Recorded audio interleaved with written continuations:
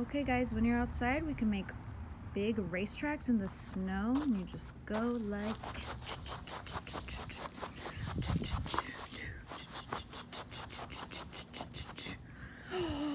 and then you can run through it.